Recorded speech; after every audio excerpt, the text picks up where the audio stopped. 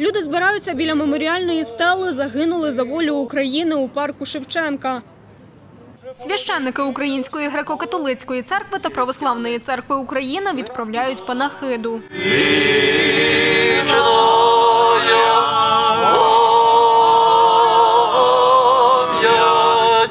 Після цього загиблих бійців шанували хвилиною мовчання. Люди кладуть квіти до пам'ятної дошки. Серед них Галина Цимбаліста. Жінка каже, прийшла вшанувати пам'ять про сина, учасника російсько-української війни Михайла Цимбалістого, який загинув у 2019 році на Донбасі від кулі снайпера. закінчив Львівську академію.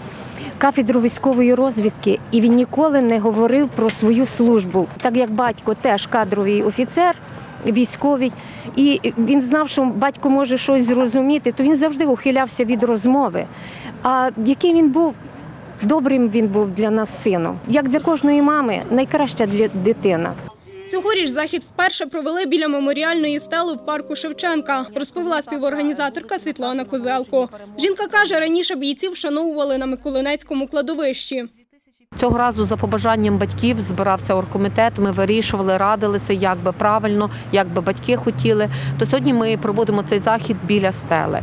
Е, Ви звернули увагу, що влада не говорила зумисне, тому що ми хотіли помолитися. Ми хотіли, щоб цей захід е, був е, такий камерний, родинний. Порушень громадського порядку та карантинних вимог під час заходу не було. Про це розповів речник Нацполіції області Сергій Крета.